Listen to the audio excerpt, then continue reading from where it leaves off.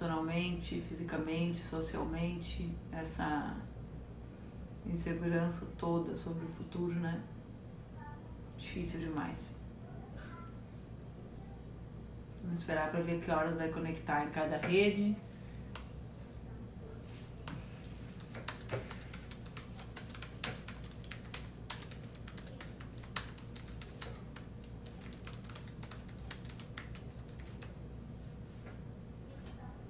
Não entrou. Ai, vou aproveitar para descansar um pouquinho. O YouTube já entrou. Boa noite, pessoal do YouTube. Boa noite, boa noite, boa noite. Vamos ver se já entrou no Insta. Se já entrou no Insta. Insta, ok. Face, ok. Boa noite, boa noite, boa noite, pessoal. Boa noite, tudo bem com vocês? Então, semana passada eu fiz a nossa conversa semanal sobre política fazendo uma sopa e o pessoal gostou. Então eu decidi que a gente podia conversar de novo aqui na minha na minha cozinha, né? Eu na verdade vou confessar para vocês que se eu não fosse gravar esse nosso encontro, eu ia fazer de novo aquela sopa. Vocês fizeram o borscht, aquela sopa russa que eu fiz de beterraba com outras verduras e carne? Gente, eu, eu falei que eu ia levar para minha mãe uma, uma viandinha, né? Nem viu a cor, nem sentiu o cheiro, nem passei pela janela para deixar a marmita lá à distância. Então eu ia fazer ela de novo. Mas eh, a gente tem muito assunto para falar hoje, né? Muito, muito, muito assunto, muitos problemas, infelizmente. E eu decidi então, a gente faz todas as semanas aqui em casa, em algum dia, pizza e pão. E ela é uma receita super fácil de fazer, super gostosa, não é cara, né? E eu quero então decidir que eu ia fazer pra, com vocês essa receita de de massa de pizza, de massa de pão sem farinha, só com quatro ingredientes. Eu vou fazer o seguinte, como eu tenho que quebrar ovos, fazer algumas coisas assim, eu vou conversando com vocês. Laura, deixa, não põe. Eu tô vendo, Laura. Botando o dedo dentro da boca da, da gata. Essa gata gosta muito de ti, né? Então, eu vou dividir assim, vou, vou fazer uma parte da receita enquanto a gente começa a conversar e vou dando as informações para vocês. Primeiro eu vou dar os ingredientes, tá, gente? Para deixar claro, é 150 gramas de frango, 3 ovos, uma colher pequenininha de farinha e uma colher pequenininha de queijo ralado. Como eu faço para a semana inteira o pão, eu uso um pacote de frango que tem 700 gramas, 12 ovos uma colher de sopa de fermento e uma colher de sopa de queijo ralado. Então, repetindo, um peito de frango inteiro. Eu já cozinhei o peito de frango e deixei ele desfiado. Então, aqui eu tenho um peito de frango inteiro desfiado, 12 ovos, uma colher de sopa de, de fermento e uma colher de sopa de queijo ralado. Deixa eu falar uma coisa pra vocês. O Brasil bateu, enquanto eu vou fazendo isso aqui, que isso aqui me dá um pouco de trabalho, porque eu não sou a rainha da coordenação motora, né, gente? Eu nem sei por onde começar vou ser sincera para vocês. Eu cheguei a pegar um papel e anotar o tanto de assunto que a gente tem para falar, já que a gente conversa sozinho, digamos assim, eu e você, sem eu estar conversando com mais alguém, só uma vez por semana. Eu queria começar com uma notícia boa, né? Uma notícia da minha cidade, Porto Alegre, que é a notícia que é o fato de nós sermos a, a que é o fato de nós sermos a capital com o menor contágio, o menor número de contaminados e o menor número de óbitos do país. Eu, eu acho que essa é uma boa notícia. São 12 ovos, tá, gente? E eu tenho escutado muito um querido amigo, reitor da Universidade Federal de Pelotas, Pedro Alau, professor Pedro, ele além de reitor da Federal de Pelotas. Ixi, vou um pouco de claro aqui. É que tá tão bom sentado, gente, vocês não sabem, eu tô cansada. Vocês... Ixi, ó, o Duca, ele é o pródigo. Aqui em casa tem uma piada que é a seguinte: pano de prato. Pano de prato tá sempre em qualquer lugar, gente, menos na cozinha, né? Mas vamos lá. Eh, e eu vou, eu vou deixar o lixo, os resíduos orgânicos aqui explico pra vocês por quê. Porque a gente tem uma composteira aqui, né? Então eu vou botando eles pro lado, porque depois eu tenho que enterrar eles lá com as, com, com as minhocas, com as composteiras, com a composteira. Mas vamos lá. Então, Porto Alegre tem esse dado para celebrar e eu contava para vocês justamente que o professor Pedro Alau, Pedrinho, que é reitor da Universidade Federal de Pelotas, ele também é epidemiologista. Ele trabalha num dos núcleos mais importantes de epidemiologia no mundo. A gente conhece pouco as coisas importantes do nosso país, né? A gente valoriza pouco. Nesse núcleo, é o núcleo que foi fundado e foi dirigido muito tempo pelo professor César Victor. Quem é o César Victor para vocês entenderem? Ele é o simplesmente o, o epidemiologista que criou junto com outros profissionais, a curva de crescimento utilizada para a OMS nas cartilhas de todas as crianças. Vocês sabem aquela cartilha, quem é mãe sabe, aquela cartilha da vacinação que atrás tem a curva da, do crescimento que os pediatras vão marcando? Então, aquilo ali foi feito uh, por um brasileiro que vive em Pelotas né, e é professor da Universidade Federal lá. O Pedrinho é do núcleo dele, hoje é reitor. Eles estão fazendo então um estudo inédito que chama boletim epidemiológico, né? Eles criaram alguns padrões, estou me concentrando aqui para não perder a contagem dos ovos, né, gente? Porque esses dias o Duca botou ovo demais como omelete, não como a pizza. E o, o Pedrinho, ele coordena esse trabalho, então, Boletim Epidemiológico do Estado. Ele fala uma frase, era essa frase que eu queria falar, era aí que eu queria chegar, 3, 6, 9, faltam 3. Ele diz que a gente não sabe, não está sabendo comemorar as nossas vitórias. Ao que, que ele se refere? Ele se refere justamente a uma cidade como Porto Alegre, que é a cidade com o menor número de óbitos, autorizar 150 mil pessoas a voltarem para o trabalho no dia de hoje. Né? E com toda a complexidade disso, onde essas pessoas trabalham, essas pessoas têm EPI, né? Como será o retorno dessas pessoas para suas casas? Né? E os filhos dessas mulheres, com quem ficarão? Como é o controle feito pela Guarda Municipal da cidade sobre esses corpos, já que a Guarda anda armada e não tem protocolos distintos, digamos assim, para situações distintas, né? Então, o Pedro, ele tem, ele tem alertado sobre isso. E eu acho que o Brasil vive um momento, ele também fala uma outra frase que eu gosto muito, que é a ideia de que quando os epidemiologistas acertam nas suas indicações, a gente tem a impressão que a doença não é tão grave. No Rio Grande do Sul a gente está vivendo essa situação, aqui em Porto Alegre, né? E eu estou muito, digamos assim, uh, preocupada, muito reticente com as decisões que foram tomadas, porque na verdade, né, gente, quando a gente tem um número positivo como esse, é fruto de uma decisão política, de uma escolha política uh, do prefeito, mas é, é consequência do envolvimento, do engajamento de cada uma de nós. Fomos nós que ficamos em casa, né? Foi meu marido, o marido de vocês que deixou de trabalhar. Meu marido cancelou 15 shows, né? Então, foi a, o senhor que não abriu o mini mercado, quer dizer, um sacrifício coletivo. E se é coletivo, aí tem um outro debate que o Armando, que é um médico que vocês têm acompanhado nas lives comigo, me colocou, que é como se tem um impacto tão grande, como o controle público sobre essas decisões é tão pequeno. Então, por exemplo, no caso de Porto Alegre, a abertura do comércio, uh, o Conselho Municipal de Saúde, que é o órgão de controle do sistema único, não recebeu os parâmetros uh, que foram escolhidos pelo governo. Então, é, para mim é um dia assim cheio de reflexões, né? De um lado a gente tem, de um lado a gente tem, falta um ovo ainda. De um lado a gente tem Porto Alegre, de outro lado nós temos Manaus, temos Belém do Pará, querida cidade de Belém do Pará. Temos São Luís uh, e o governador Flávio Dino com o primeiro lockdown do Brasil, ou seja, pessoas que já não podem uh, sair das suas casas, né? Que já não podem uh, se locomover sem ter um destino certo. Vocês sabem que a gente aqui tem o um isolamento social, né? Distantíssimo do que é o lockdown, que é muito mais severo, muito mais duro. Então eu acho que é um momento de muitas reflexões para nós, né? Nós já passamos dos 7 mil óbitos, nós temos aí uma colher de sopa de fermento, gente, tá? Vou botar um pouquinho mais que ela não tá realmente cheia. Nós temos aí, além dos 7 mil óbitos, né? A gente tem uma é, desatenção total do governo com relação ao tema da renda básica emergencial. Vocês devem ter acompanhado as filas, pessoas dormindo nas agências da Caixa para receber o auxílio.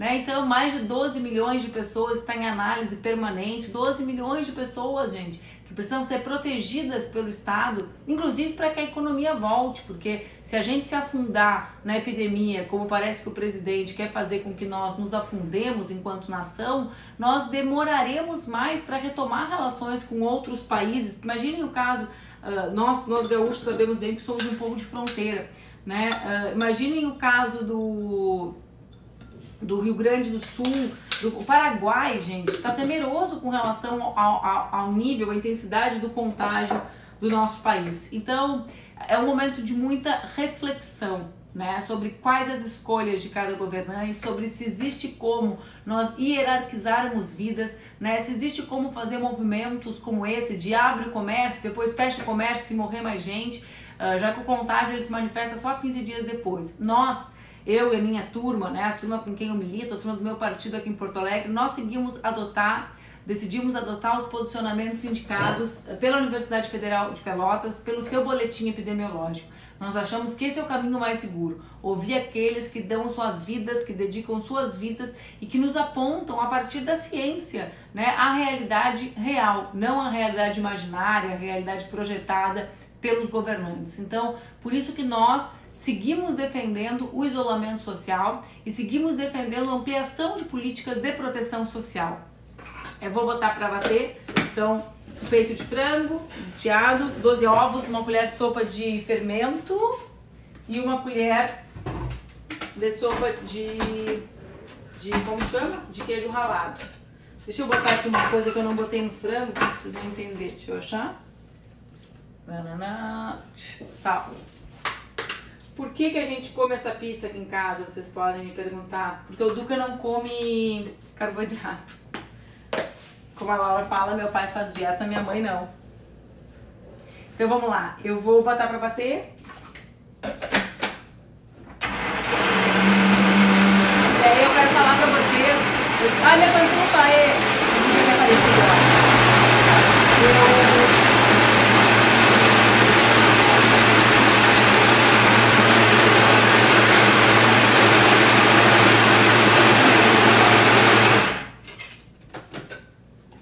Eu uma mexidinha aqui.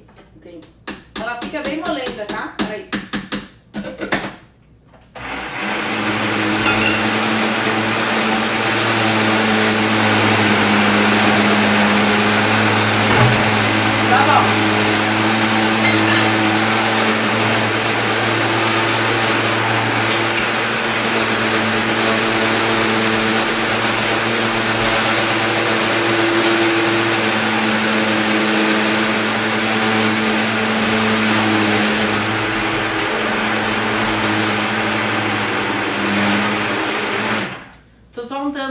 aproveitei o tempo que vocês não iam me ouvir mesmo para untar isso aqui com um pouquinho de manteiga no papel toalha, mas isso aqui vocês sabem fazer. Tem gente que faz com, com azeite, tem gente que faz com, com outros óleos, mas eu faço a manteiga que estava aqui do lado.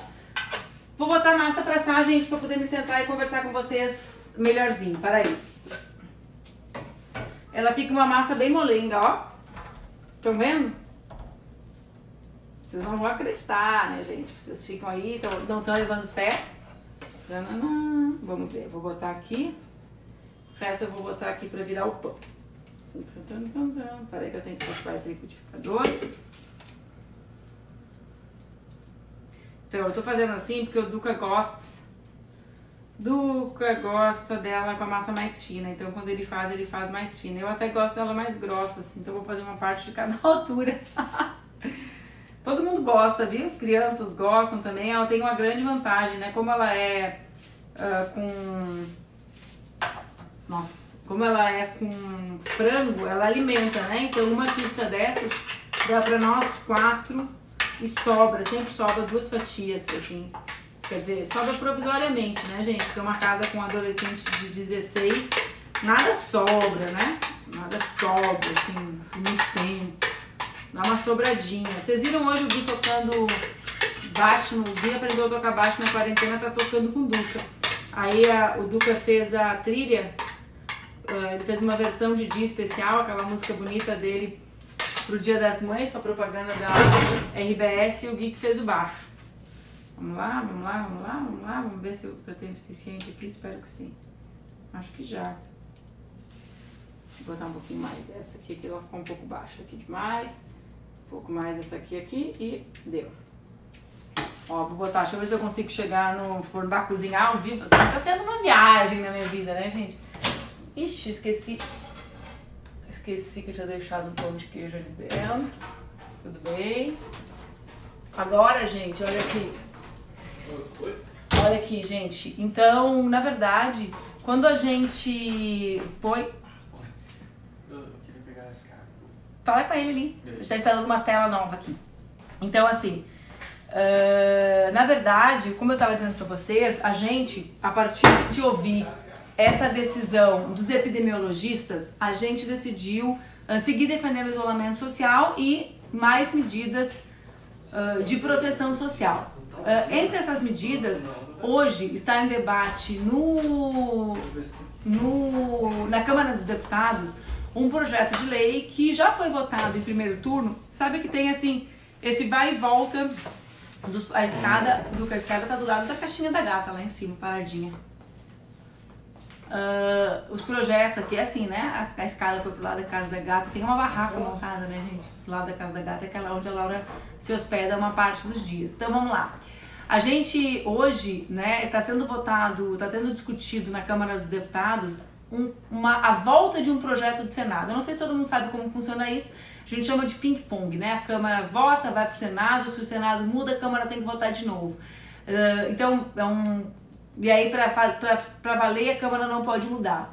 Só que esse projeto é um projeto muito importante para os estados e para os municípios. Vocês sabem que, por exemplo, os estados uh, pagam polícia, pagam professores, pagam os médicos, os, os, profissionais de saúde de uma parte grande dos hospitais, né? Repassam. Então, na realidade, nós temos muita urgência para garantir que os estados e municípios recebam esse recurso. Mas foi incluído um contrabando nesse projeto. Né? Esse contrabando ele consiste em vários itens. A gente chama de contrabando tudo aquilo que não tava, que não tem o espírito da lei original. É assim que a gente se refere a esses penduricalhos, digamos assim, na, na Câmara, no Congresso Nacional. O que, que diz esse contrabando? Ele impede reajuste de salário do funcionalismo público, né? O que em alguns estados, como é o caso do Rio Grande do Sul, é bastante grave, porque já não há reajuste há muito tempo. Mas mais grave que isso, ele impede a ampliação, ele congela os investimentos em saúde e educação.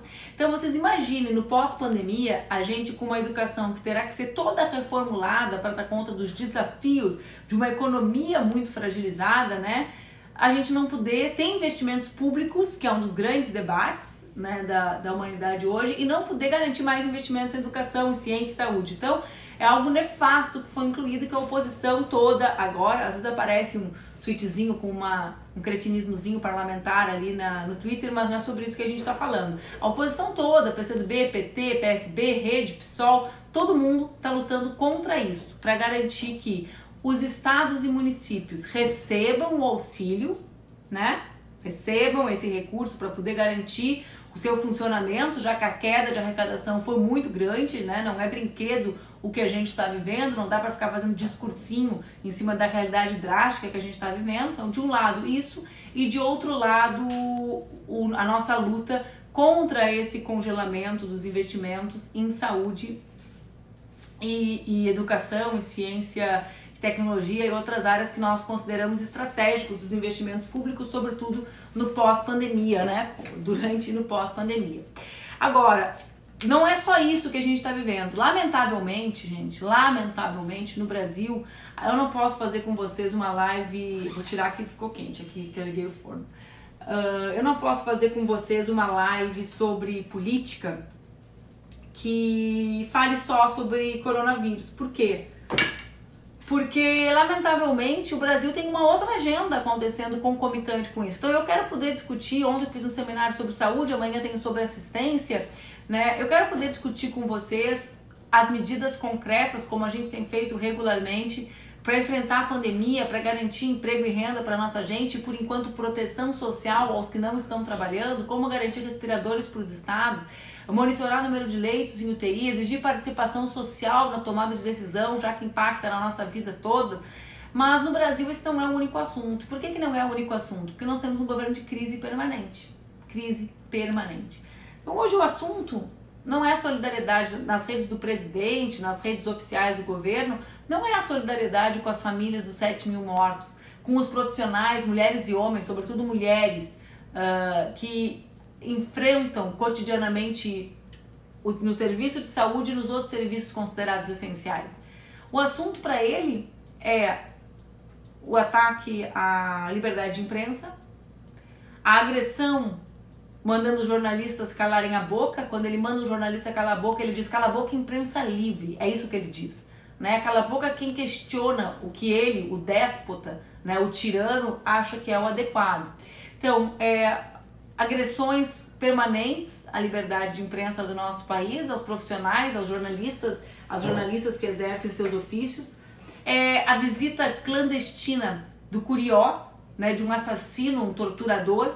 Vocês imaginem, né, uma visita daquelas de um homem que está na cadeira de rodas, não é algo uh, que acontece assim espontaneamente, né? Determinado momento, chega lá ele, toque, toque, toque, tô aqui. É algo planejado. Então, quer dizer, no domingo ele diz, tem agressão à imprensa no ato dele e ele diz, estou no limite. Né? Se não fosse uh, trágico, ia ser cômico. Né? Quem está no limite é a gente, a gente já passou do nosso limite. A gente não é, uh, qual, não é como diz o Chico, qualquer desatenção pode ser a gota d'água. A, a, a, já transbordou a nossa indignação, a indignação do povo brasileiro. Então, no domingo, é o tal do Tô no Limite, agressão a jornalistas.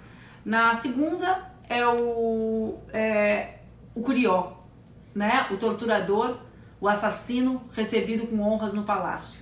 Né? O torturador da ditadura militar, aquele covarde que apresentou um atestado médico para não me depor na Comissão Nacional da Verdade. Aliás, talvez tenha sido dele a inspiração do atestado médico para o covarde que nos governa ter fugido de todos os debates, né?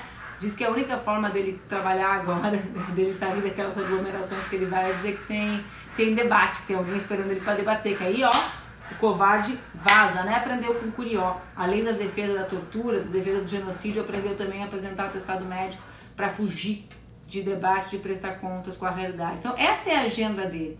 A agenda dele não é ser solidário e manifestar o pesar do Brasil com a morte de Aldir Blanc. Né? Não é lamentar que nós perdemos dois nomes ontem da nossa cultura. Né? Não, é, uh, não é se colocar ao lado das famílias, não é comandar um projeto de país de, com que o país possa enfrentar uh, com, menos, uh, com menos problemas, né? com que as pessoas tenham mais dignidade, menos vulnerabilidade para enfrentar os problemas. Essa não é a agenda dele. A agenda dele é bate-boca com o Moro, né? É gravar uma live em que ele não falou uma única vez sobre a pandemia, uma única vez sobre os problemas que o nosso país enfrenta. Então, uh, gente, na verdade, assim, né? A gente vai olhando, de um lado, estamos nós, né? Aqueles que ficam uh, desesperados, digamos assim, tentando debater e fazer com que os governos implementem, os governos locais, municipais e estaduais, implementem um conjunto de medidas uh, relacionadas à proteção social para que a gente garanta o isolamento social nos nossos estados. Nós temos aí uh, populações vivendo situações muito dramáticas, sobretudo no norte do país. Então, de um lado estamos nós. E de outro lado está essa agenda política deles que cada vez mais uh, sufoca, digamos assim, ocupa a pauta e faz com que setores da sociedade brasileira não consigam prestar atenção naquilo que tem que prestar atenção poderia parecer casual, eu acho que é um projeto, né? Eu acho que é um projeto de destruição do nosso país, de destruição, de morte mesmo, aquilo que chamam de necropolítica, né? A morte no comando da política, um projeto político de morte. Por quê? Pensem comigo, será que vocês não vão ver a pizza pronta, hein? Pensem comigo. Ela fica 20 minutos no forno, tá, gente? Pra, pra vocês saberem se eu ficar muito exausta, eu mostro depois a foto pra vocês nas redes. Que feio, né? Eu devia ter feito uma coisa, deixado ela montada, uma massa, mas não dá, gente. Aqui, aqui não dá pra ser assim. Vocês viram como fica a massa? Agora fiquei com vergonha de vocês, que vocês não vão ver a pizza pronta. E aqui tem uma massinha de pão, esse pão aqui depois dá pra uma semana, fica tipo um pão... Ah, fica uma delícia. Vamos lá. Então, o que eu ia dizer é que para mim esse, esse é o projeto político dele, né? É um governo que, no, que quer jogar o nosso país para submissão total aos Estados Unidos. Vejam, a situação é patética internacionalmente, mas que ao mesmo tempo provoca o extermínio do nosso povo. Por isso que não é exagero dizer que essa é uma prática genocida, né? Que Bolsonaro é um genocida. Por isso que não é exagero encaminhar à Corte Internacional de Haia o seu julgamento por esse tipo de crime porque é para esse lugar que ele joga a nossa população. Então, é uma luta sem fim, né? A gente fica aqui, é como se a gente estivesse uh, permanentemente no combate, porque a gente tem que esclarecer a população das mentiras que eles inventam, as mentiras gravíssimas, né, gente? Cada dia mais repugnantes. Essa semana que passou foi o tema dos caixões que eles inventaram que estavam sendo enterrados vazios, né, com pedras dentro. Então a população já vulnerabilizada, perdendo pessoas queridas, não podendo se despedir da forma convencional das suas pessoas queridas, né? Porque a gente tem um ritual. Nesse ritual, quando nós perdemos alguém querido, nós encontramos pessoas que seguem aqui para nos dar conforto. Então, as pessoas já vulnerabilizadas, o sistema de saúde colapsado e eles jogando a fake news dos caixões, as pessoas desesperadas abrindo os caixões, se, se expondo elas próprias ao vírus, né, em função dessa máquina nefasta que eles têm de distribuição de mentira. Então, é, é a mentira deles, né? É o debate exaustivo sobre isolamento ou não. Quando parece que nos lugares que a gente está conseguindo uh, vencer, vem a força né, deles, do que representa o bolsonarismo, do que representa essa corrente de opinião nos parlamentos, porque eles não estão sozinhos, né, gente? Não existe um só gabinete do ódio. Tem gabinete do ódio em Brasília, tem gabinete do ódio nos estados, tem gabinete do ódio nos municípios. Isso é uma corrente que eles organizaram, né? Tem muita gente hoje abrigada dentro dos parlamentos né, para, uh, ah, com a imunidade parlamentar, se proteger dos crimes que cometem. Não é pouco deputado que distribui fake news, não, e, e, a forma como eles fazem isso, né? Pega ali a mentirinha, lê na live com 100 mil pessoas, como quem diz, só tá aqui para constar, legitima aquilo que foi distribuído pelos robôs. Então, é a luta contra as fake news. É a luta permanente em defesa da democracia, né, gente? Como reinventar a nossa luta em defesa da democracia de dentro das nossas casas né? defender o isolamento social. Olha que contradição que o nosso tempo, que o nosso tempo nos impõe, né? Quer dizer, lutar, denunciar, construir espaços de denúncia dentro das nossas casas, né? Ao mesmo tempo, seguir lutando para ampliação das medidas de proteção social, porque senão o ambiente de caos uh, que ele está tentando suscitar será exitoso, porque as pessoas elas têm que escolher entre se expor ao vírus, essa é, essa é a conta matemática do presidente, ou se expõe ao vírus ou busca ou, ou fica sem comer. Não, né? Não é essa contradição que está colocada. Nós queremos que as pessoas não se exponham ao vírus e simultaneamente tenham a proteção do Estado para que elas possam viver, para que o nosso país possa voltar a funcionar. O Papa Francisco disse essa frase e talvez tenha sido a frase mais forte que eu ouvi no último período: ninguém se salvará sozinho né? E isso também quer dizer que não adianta uns voltarem, os outros não, porque enquanto o, o, Brasil tiver um contágio elevadíssimo, a nossa economia não voltará a funcionar normalmente, as nossas relações com os outros países não voltará a acontecer normalmente, gente, né? Então imaginem regiões que são regiões que sobrevivem do turismo, se nós não diminuirmos o contágio, então esse papo de economia e saúde ele é um papo uh, falacioso Uh, uh, eu estou pedindo para o pessoal me mandar por escrito aqui, porque eu não recebo as perguntas de vocês com esse aplicativo que eu estou usando para fazer transmissão online. Ó, alguém, a, a Mari me mandou aqui algo correto. Eu vou terminar, eu, nem, eu vou, vou falar sobre isso então, né? Que é a coisa do Enem, né? Que é, é muita coisa, né, gente? Olha aqui, eu faço lista, juro que eu faço lista, mas é uma lista de, de problemas criados pelo governo, que é, que é o fato do Enem ser mantido apesar da desigualdade econômica brasileira fazer com que estudantes tenham condições absolutamente díspares, desiguais para enfrentar a prova. Né? Então, o que, que acontece? O, o Enem é mantido, aqueles jovens, como meu enteado, que tem casa, internet, né, um celular para acessar o conteúdo, podem se preparar. E os jovens que estão em situação de vulnerabilidade, que não têm computador nas suas casas, que não têm internet fora do ambiente escolar, né? Não tem. Então, na verdade, o Enem vira um instrumento de, que aprofunda a desigualdade. Ao invés da escola ser um ambiente como nós sonhamos e lutamos, né, construtor, uh, minimizador da desigualdade, construtor de uma sociedade mais igualitária, a escola, ela própria, né, vira um ambiente, uh, o Enem ele próprio vira um ambiente de, uh, que agrava a desigualdade, digamos assim.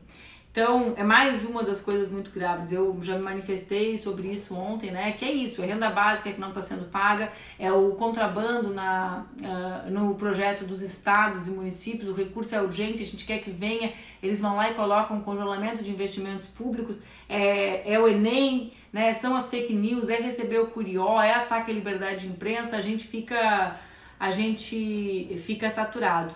eu, todos nós, né? Todos nós que queremos viver num outro país, que estamos trabalhando para tentar garantir que as pessoas não fiquem vulneráveis uh, numa situação como essa.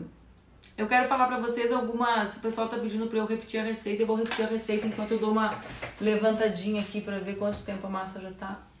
Ai, eu nem enxergo o relógio daqui, gente, mas vamos lá.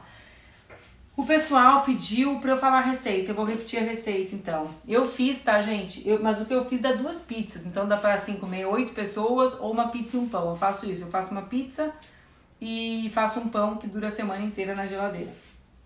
São 700 gramas de frango, 12 ovos, uma colher de sopa de fermento, uma colher de sopa de queijo ralado. O frango eu já deixo cozido e desfiado depois que o frango está cozido desfiado, mistura no liquidificador com os ovos, com o fermento, com, os, com o com queijo ralado e um pouquinho de sal, bate e coloca para assar 20 minutos. Tira, cobre, eu vou colocar uh, molho de tomate, queijo e umas verdurinhas em cima, no nosso lado cebola, brócolis, pimentão, no lado deles milho, pizza de milho aqui, aquela que vocês rejeitavam no rodízio, aqui em casa é a pizza VIP né? E depois que quando eu tirar essa, mais uns 10 minutinhos só para gratinar o queijo, eu tiro essa e coloco a outra. Por fim, eu queria falar com umas, umas, uh, umas mudanças nas nossas, nas nossas redes, umas mudanças legais.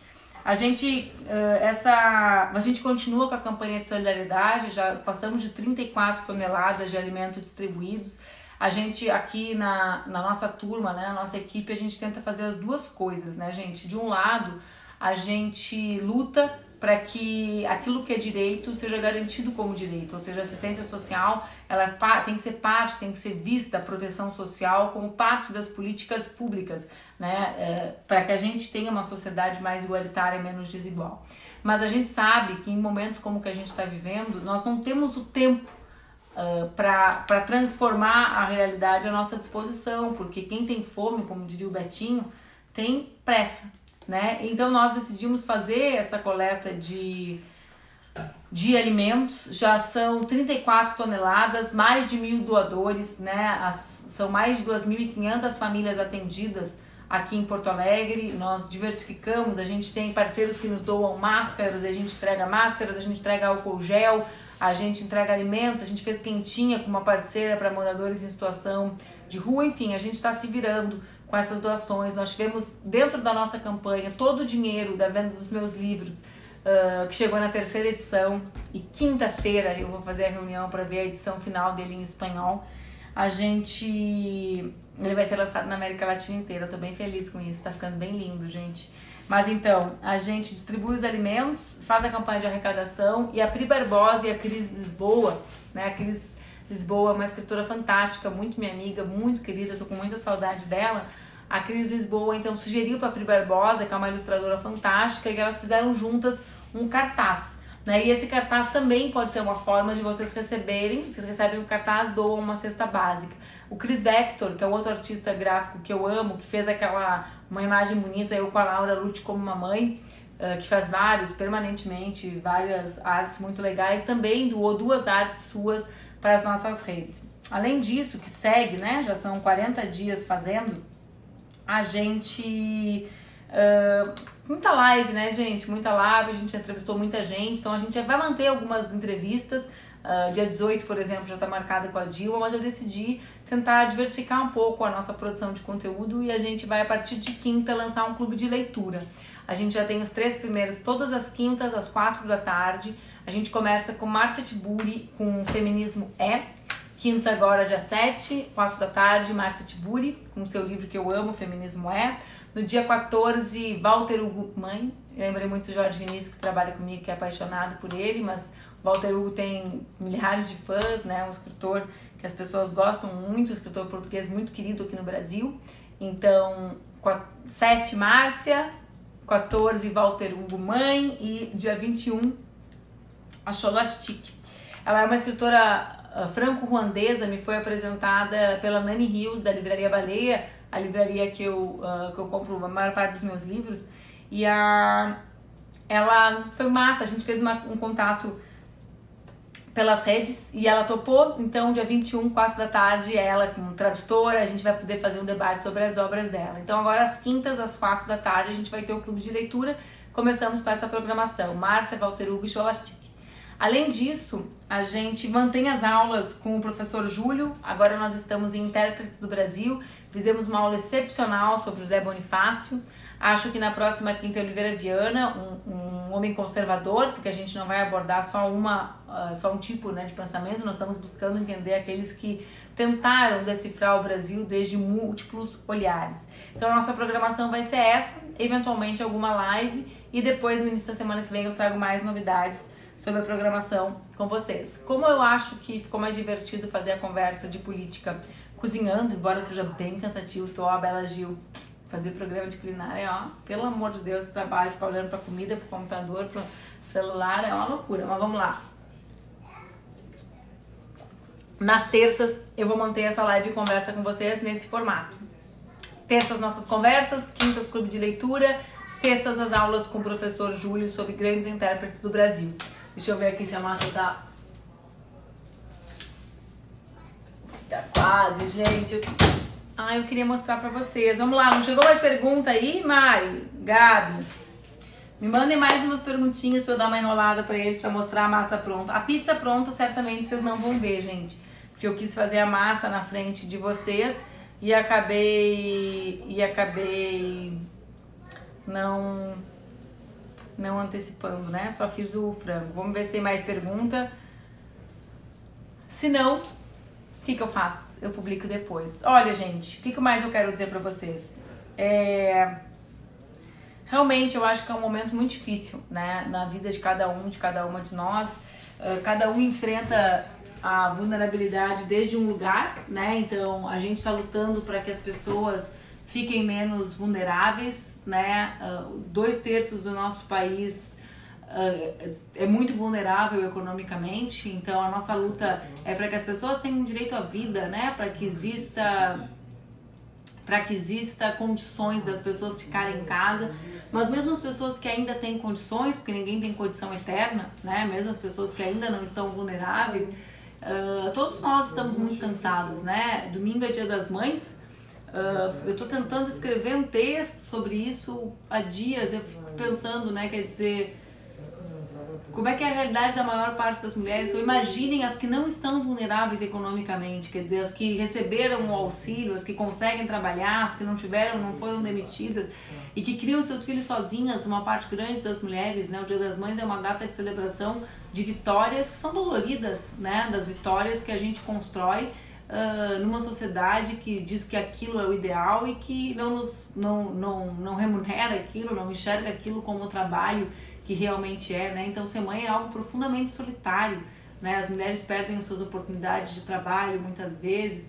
Óbvio, né? Tem uma relação e um sentimento extraordinário, né? É, é realmente revolucionário uh, a maternidade. Então eu fico imaginando agora, né? As pessoas nas suas casas, todas conciliando esse debate sobre as atividades escolares que tem enlouquecido com toda razão as mães, as mulheres quando eu falo mães e mulheres é porque poucos homens se envolvem nisso, né, gente? Então, né, na minha casa eu tenho um companheiro, acabei de publicar até no Lady Laura, no perfil que eu tenho com a, uh, com a Laura, o Duque e a Laura dobrando as roupas. Aqui a gente divide responsabilidade, eu não tô falando sobre a mim, eu tô falando do geral, da maior parte das pessoas, né? Então imaginem, as mulheres tendo que fazer esse tal de home office, né, que nada mais é do que trabalhar em casa, né, cheia de dificuldade, eu mesmo aqui, a, minha, a mesa da sala, a mesa de comer, virou minha mesa de trabalho, né? Aí a criança tem que ficar brincando, eu fico aqui, eu montei uma casa de boneca do lado da minha mesa, né?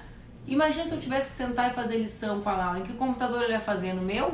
Estou trabalhando? Então, assim, a gente tem muitos debates para fazer, muitos, muitos debates, uh, uh, pá, muitos debates sobre o que está, sobre tudo que tem por trás acontecendo. Eu estou tentando organizar ah, uma discussão, a Clarissa Ponte, uma querida amiga minha, me deu essa ideia, estou tentando organizar um debate sobre tudo o que significa né, a manutenção das atividades letivas em casa, né, desde o ponto de vista da, da desigualdade, o que a gente discutia sobre o Enem, e também da, da impossibilidade para as mulheres, né, gente? Parece que, parece que a gente vive num mundo ideal, quando o prefeito libera o trabalho sem escola, né? quem fica com as crianças, né? As crianças existem. Aí domingo todo mundo fica ali celebrando o Dia das Mães, né? Quando a gente. Uh, é isso, é muito louco essa, essa invisibilidade né, do que representa o trabalho relacionado à criação dos filhos. Eu fico pensando, passam lição, aula, no computador de quem? Quem fica do lado sentado, coordenando, né? Então, assim, uh, esse momento ele também tem que servir para repactuar, para tornar, se torna visível muitas coisas, né? A necessidade de saúde pública, de ciência, uh, da, da fragilidade da vida humana, da necessidade de um estado de proteção social, também torna visível o que é, né, o que é essa relação de cuidados que as mulheres assumem como se fossem relacionadas aos, aos afetos, mas que na verdade são relações de trabalho, né, é, uma relação da, da invisibilidade do trabalho doméstico, é, porque é, é isso, todo mundo fala sobre o ano letivo virtual, então até sobre a desigualdade a gente escuta, né, o nosso lado fala sobre a desigualdade, como tem denunciado o Enem, mas sobre o papel de quem coordena isso, né? De como que faz, como que tá tudo bem, eu faço isso, faço aquilo, o que que eu faço, né? Então uh, esse, esse debate também precisa surgir, né? Sobre o que representa o trabalho doméstico exercido pelas mulheres, sobretudo pelas mulheres que são mães. Todo mundo está cansado de ficar em casa assumindo responsabilidades que são sempre de mulheres, né? Ou das mulheres que já são responsáveis por essas casas, ou de mulheres terceirizadas para cuidar das crianças, da casa. Então, é preciso desnudar, também aproveitar essa oportunidade uh, trágica que a gente vive, né, que ninguém queria estar vivendo, para desnudar a realidade. Alguém pediu, João Francisco pediu para eu comentar o depoimento do Moro. Sabe que até anotei aqui é tanta loucura. Não, eu não anotei, por isso que eu não, por isso que eu me passei. Eu não li, eu, eu ouvi rapidamente o depoimento do Moro antes de entrar ao vivo com vocês. Olha, gente, é um escândalo, né? Primeiro que todo mundo aqui conhece o Moro. A, acho que o Moro foi habilidoso, pelo que eu vi, né? Porque ele tem ali uma situação difícil, né? A situação do Moro é difícil porque ele não pode. É muito difícil ele incriminar o presidente sem se incriminar, né, gente? Porque quando foi que o presidente tentou fazer cada uma das coisas? Então eu acho que ali tem duas pessoas parecidas, ele e o presidente né? Ele acobertando coisas, tentativas e, e eh, coisas feitas pelo presidente, até que ele chegou no limite dele, que tem relação com a substituição da PF. Uh, ah, acho que é muito sério isso, né? Muito sério uh, isso que a gente está vivendo, a fragilidade com que a gente. A, a, dimensão da crise e a fragilidade com que isso deixa o nosso país e as nossas pessoas à mercê de um né, de um país desgovernado, porque o presidente está também colocando toda a sua energia para enfrentar essa crise política. Nós do PCdoB, João, João Francisco, né, eu adoro teu nome, nós uh, defendemos a instalação imediata de uma CPI no Congresso Nacional para que possamos investigar as denúncias feitas por Moro, o conjunto de denúncias que não são poucas que ele apresentou naquele dia. O que, que aconteceu? Né? Que, que as denúncias parecem ter tido uma suavizada entre a sua fala inicial e a sua ida na Polícia Federal. A gente precisa saber, né? E acho que a melhor forma da gente saber isso é com uma CPI dentro do Congresso Nacional. A Malu, acho que é a Malu Bragança, minha amiga de São Gabriel. Será que é? Deixa eu ver se aqui ficou pronto, gente. Malu pergunta sobre violência contra a mulher. Deixa eu dar, Malu já veio aqui. Deixa eu ver se eu consigo mostrar para vocês a massa da pizza. Sim, Tá. Eu, em geral, em geral, em geral, eu deixaria ela mais um tempinho. Mas eu quero mostrar pra vocês. Peraí. Voltei. Tananã. O forno tá ali, ó. Olha aqui. Ai, ai. Que linda aquela. Ai, que luz feia. Isso é uma massa, fica perfeitinha, vocês estão vendo? Aquela é uma massa perfeitinha. Eu deixaria ela um pouquinho mais dourada se eu não quisesse mostrar pra vocês. Mas, eh, como eu queria mostrar pra vocês, já tá boa. Ó, aí aqui eu vou botar molho de tomate, queijo, essas coisas, tá? Enquanto eu termino de responder pra, pra Malu. Vou, Malu, o que que eu acho? Tá, Cássia, tá, agora tá surgindo as perguntas, que eu tenho mais 10 minutos de live. Deixa eu ver se eu consigo... Opa, opa, opa. Deu aqui, ó.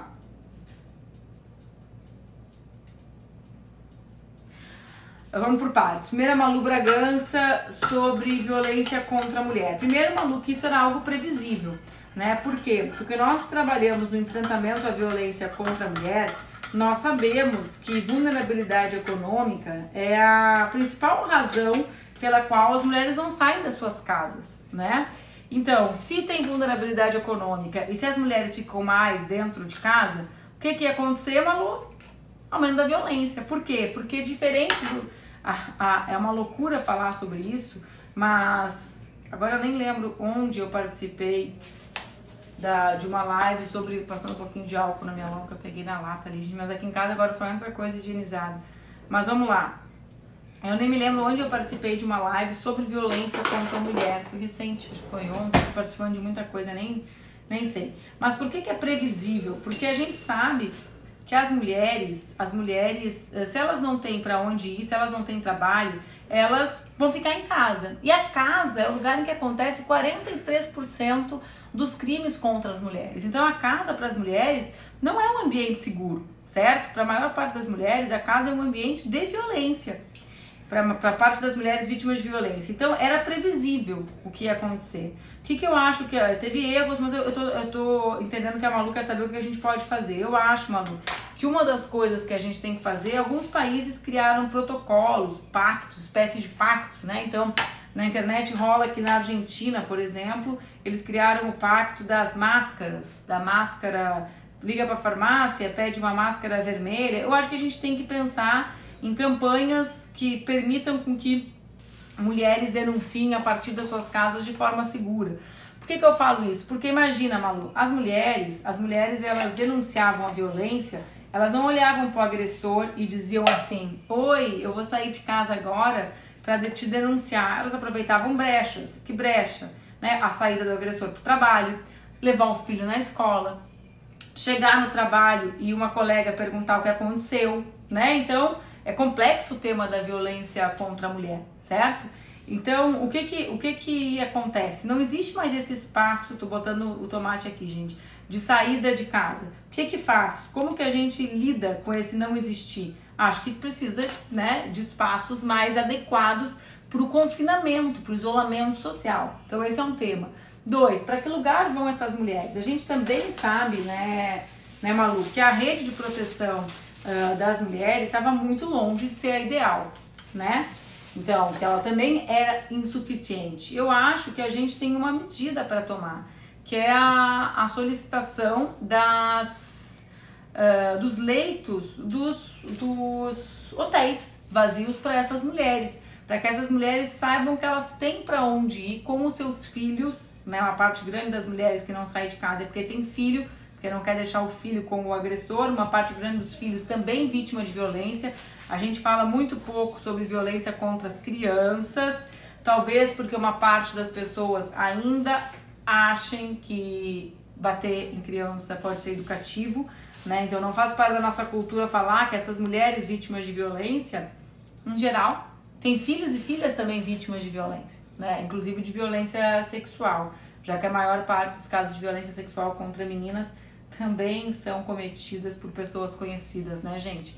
Mas vamos lá. Então, acho que a solicitação dos leitos dos hotéis, dos quartos de hotéis, é uma, é uma medida que os municípios, né, Malu, podem adotar. São medidas municipais, porque além disso, essa criação de uma espécie de 180 no tempo da pandemia, imaginando que as pessoas não vão telefonar, porque elas estão justamente com seus agressores trancadas dentro de casa.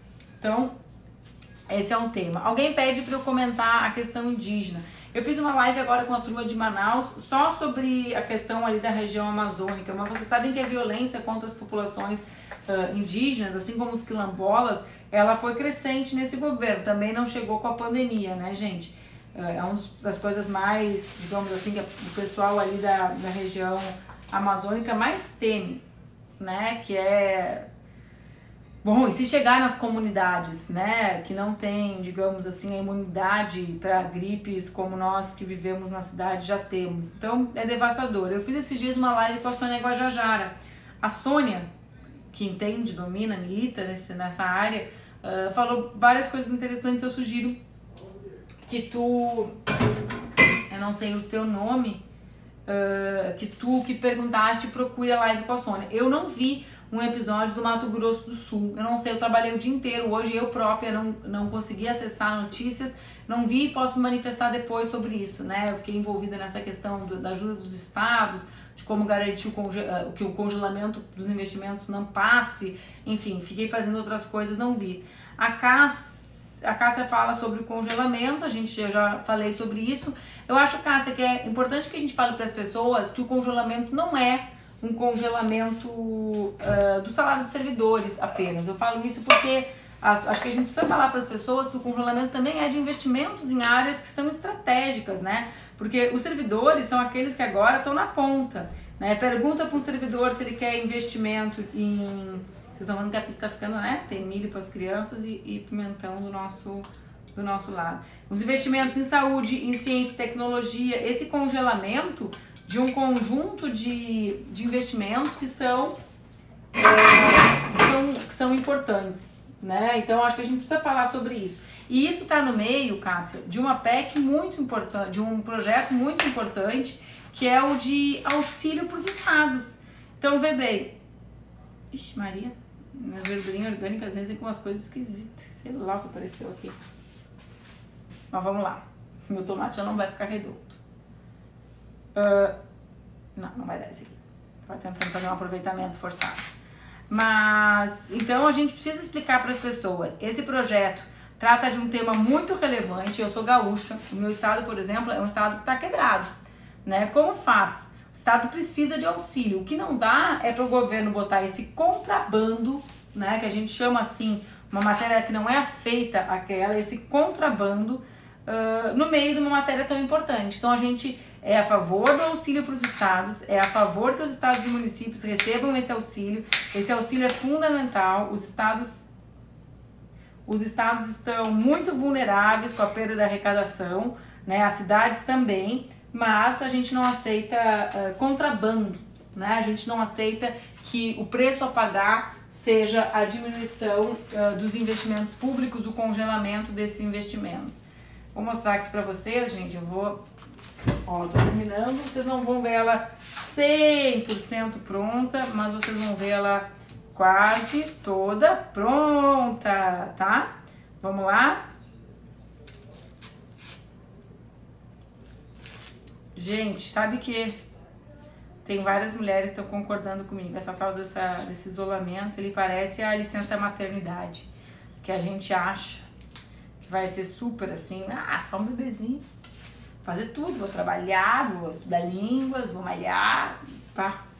E a gente sai esgualepado. Eu, cada dia que passa, tenho a impressão de que eu trabalho mais e mais e mais, que os problemas aumentam e que estou mais e mais e mais exausta, né? Acho que a gente mais do que nunca precisa. Vou botar meia cebola, porque se eu não botar. Ai, Maria! Deixa eu aqui botar cebola na parte do meu marido. Se não tiver cebola, amanhã ele não estende as roupas. E vamos ver. Botar aqui, vou mostrar pra vocês. Taranã. Ai, ai, ai, tô com medo que caia alguma coisa aqui. Estão enxergando? Vocês podem colocar, evidentemente, o que vocês quiserem. Para aí, gente. Fechar o forno que eu não sair daqui.